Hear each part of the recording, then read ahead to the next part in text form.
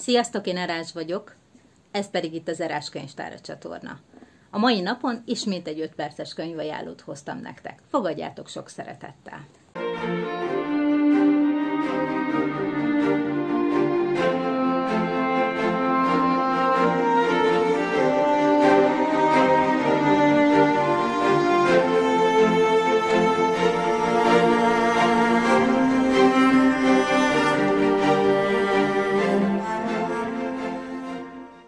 A háttérben véletlenül ö, horkoló, morgó hangokat hallotok, az ö, gombi cicánk, ugyanis allergiás. A mai napon Csád Géza Mesék, amelyek rosszul végződnek című összegyűjtött novellás kötetét szeretném a figyelmetekbe ajánlani.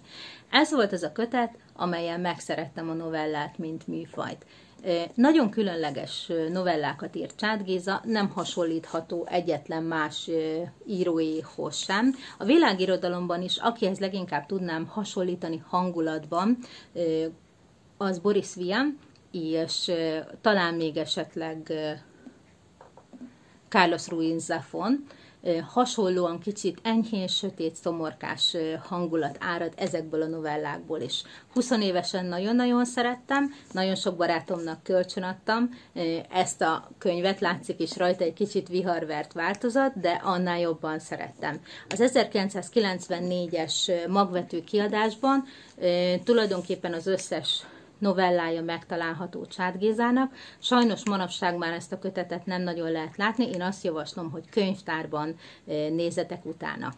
Csát Géza sajnos ismételten mondhatnám azt, hogy elfelejtett íróink közé tartozik. Kosztolányi Dezső unokatestvére, zenésznek készült, nem veszik föl a Zeneakadémiára, később zenekritikákat ír.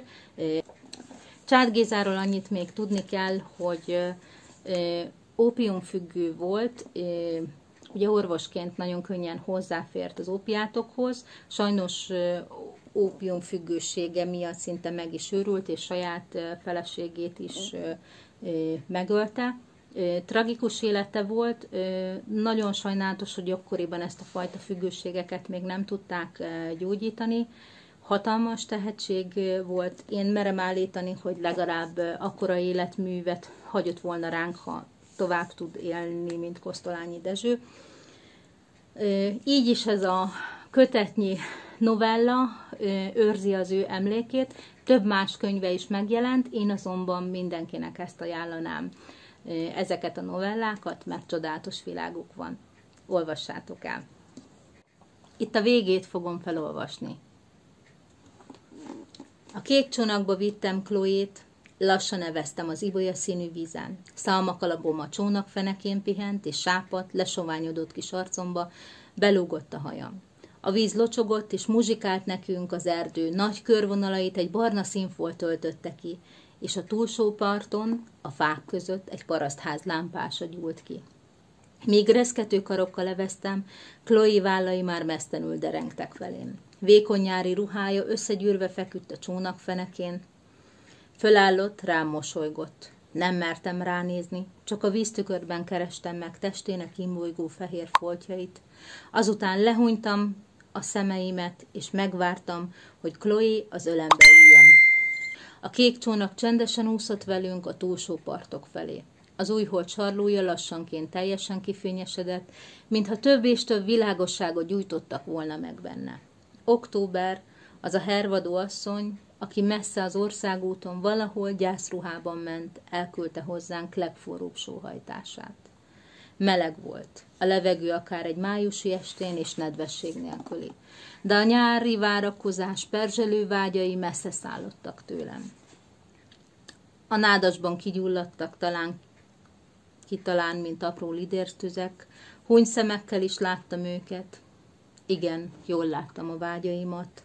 A nyári várakozás forró fehér testű lányait, akik messze a nádasban gázoltak, hosszú karcsú bokáikkal is fáztak a vízben. Meleg őszi hajnal szellője simogatta végig az arcomat. A kék csónak a túlsó parthoz ért. A fürdőház, a villák, mint apró játéképületek tűntek föl a másik parton. Chloe előttem a csónak fenekén feküdt, Csak néhány pillanatig néztem csodálatos aktját, bőrét, mely mezítelenül is rózsaszínű vértelt volt, és mellét, amely egészséges szabályossággal pihegett. Megcsókoltam a szemeit, aztán kiléptem a csónakból, és kigázoltam a partra. Övigáztatott a hideg víz, de nem fáztam. Még visszaértem a szobámba, a nap megszárította a ruhámat, mehettem a vasútra, könnyed és vég voltam. Fütyültem. A kék csónakban ekkor nyithatta föl Chloe a szürke szemeit. Amikor a vonat elhagyta a szőlőskertet, szakaszomba belépett egy sápat, szürke árnyék, a szomorúság, és leült velem szemben. De ekkor már nem tudtam leszállni.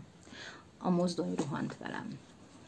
Köszönöm, hogy meghallgattatok, én Erás voltam, ha tetszett a videó, lájkoljátok és iratkozzatok fel a csatornára. Megtaláltok Molyon és Instagramon is. További szép hétvégét és nagyon sok jó könyvet kívánok!